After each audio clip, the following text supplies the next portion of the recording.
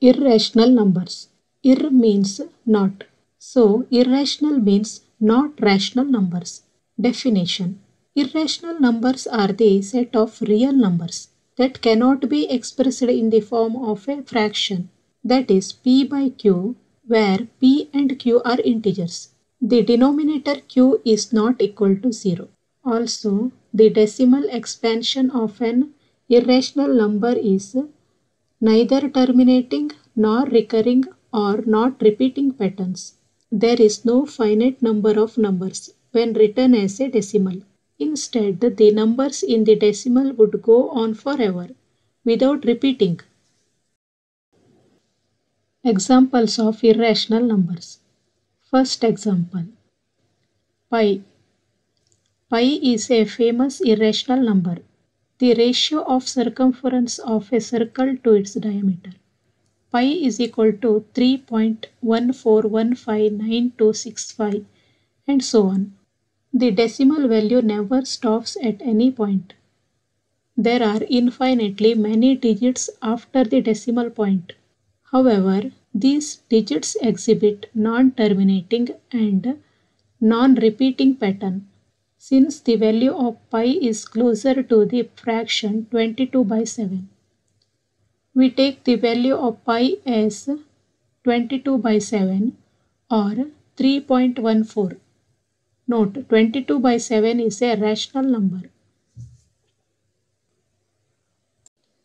Example 2 Square root of 2 The square root of 2 is an irrational number, meaning its decimal equivalent goes on forever without repeating pattern.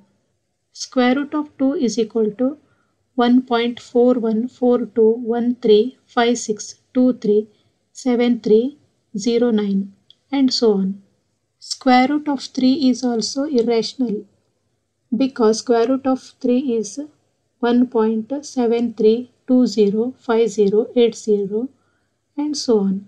There are infinitely many digits after the decimal point. However, these digits exhibit non-terminating and non-recurring or repeating pattern. Square root of a number which is not a perfect square are irrational numbers. For example, square root of 2, square root of 3, square root of 5, square root of 6, square root of 7, square root of 8, square root of 10, square root of 11 and so on. Perfect square is square root of 4. Square root of 4 is not an irrational number because square root of 4 is 2. Similarly, square root of 9 is 3. Square root of 16 is 4 and square root of 25 is 5. These type of perfect square numbers are not irrational numbers. These type of numbers are rational numbers. Square roots of prime numbers are irrational numbers.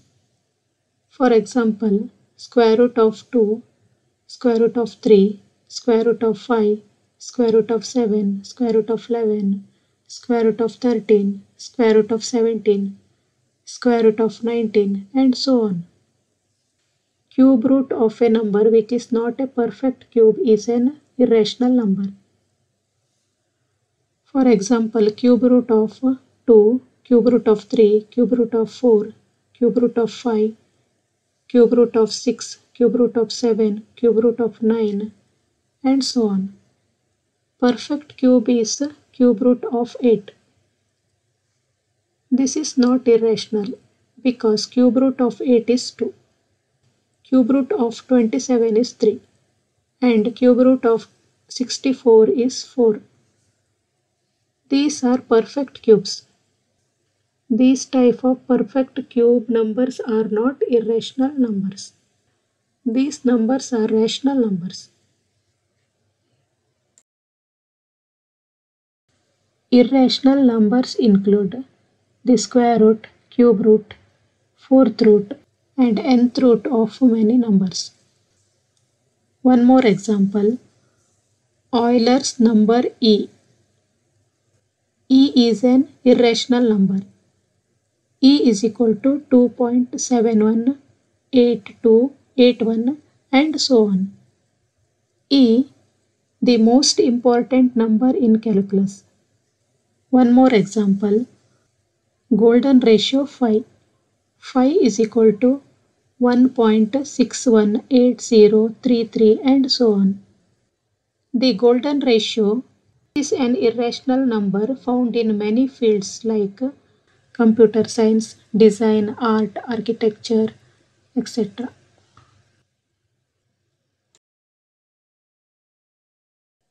Representation of irrational numbers on the number line. Now we will see the representation of irrational numbers on the number line. To have a better understanding of the concept, let's take an example of representation of square root of 2 on the number line. First we will draw a line and mark the center point as 0. Let us mark the right side of 0 as 1 and the left side as minus 1. Before going further, let us understand a simple concept of Pythagoras theorem because we are going to use this theorem in this concept. What is Pythagoras theorem? The Pythagoras theorem states that if a triangle is right angled or 90 degrees, then the square of the hypotenuse is equal to the sum of the squares of the other two sides. In the given triangle ABC, here BC is the base, AB is the altitude or the height and AC is the hypotenuse.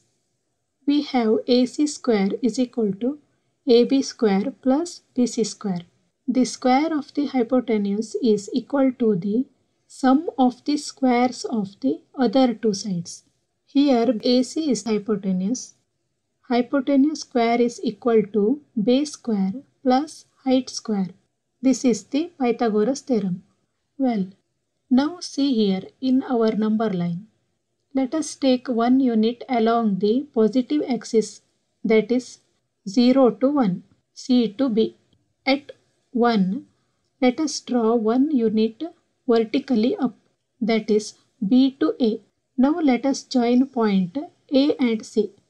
A right angle triangle is constructed. Now we have a triangle ABC such that AB is the height which is perpendicular to BC. BC is the base of the triangle and AC is the hypotenuse of the right angle triangle ABC. Now length of the hypotenuse that is AC can be found by applying the Pythagoras theorem to the triangle ABC. AC square is equal to AB square plus BC square implies AC square is equal to 1 square plus 1 square implies AC square is equal to 2. Therefore, AC is equal to square root of 2. Now with AC as radius and C as the center, cut an arc or you can draw a circle on the same number line with the help of a compass and name the point as D. AC is the radius of the arc and hence CD will also be the radius of the arc whose length is square root of 2. So length or radius of AC is square root of 2 and radius or length of CD is square root of 2. In the same way on the left side of 0 we will have a point on the number line whose value is equal to negative square root of 2. From here to here, this is also same distance. This is also radius of the circle. Similarly, from here to here and here to here, so many radius are there. Okay? Hence, D is the representation of square root of 2 on the number line. Represent square root of 3 on the number line. Step 1. We need to construct a line which is perpendicular to line AC from point A such that this new line has unit length and let's name the new line as AE. Step 2. Now join C and E. The length of line CE could be found out by using Pythagoras theorem in right angle triangle EAC. So EC square is equal to AE square plus AC square implies EC square is equal to 1 square plus square root of 2 square implies EC square is equal to 1 plus 2. Therefore, EC is equal to square root of 3. So, the length of EC line is found to be square root of 3 units. Step 3. Now, with C as center and EC as the radius of the circle, cut an arc on the number line and mark the point as F using the compass. Since CE is the radius of the arc, Hence, CF will also be the radius of the arc and will have the same length as that of CE. So, CF is equal to square root of 3 units. Hence, F will represent square root of 3 on the number line. Likewise, we can easily represent so many square roots of numbers on the number line. Like square root of 5 square root of 6, square root of 7, square root of 8, square root of 9, square root of 10 and so on. It is called spiral method. Let us see same in the diagram. Spiral method. First we will draw a number line and mark the center point as 0 and name the point as O. Step 1. Take a point O and draw OA of unit length. Step 2. Draw AB of unit length perpendicular to OA. Join OB that is square root of 2. Take O as center and OB as the radius. Cut an arc on the number line by using the compass and mark the point as M. This is also square root of 2. Step 3. Draw BC of unit length perpendicular to OB. Join OC that is square root of 3. By using compass mark on the number line we will get square root of 3. Step 4. Draw CD of unit length perpendicular to OC. Join OD that is square root of 4. Step 5. Draw DE of unit length perpendicular to OD. Join OE that is square root of 5. Step 6. Draw EF of unit length perpendicular to OE. Join OF that is square root of 6. Step 7. Draw FG of unit length perpendicular to OF. Join OG that is square root of 7. By using above method we can get square root of 3, square root of 4, square root of 5, square root of 6, square root of 7 on the number line. In this way we can draw so many square roots of numbers on the number line. Do you know how to represent 2 plus square root of 2? You already know how to represent square root of 2 on the number line. Mark that point on the number line. Now take the length of that using the compass. We have to add this length to number 2 to get 2 plus square root of 2.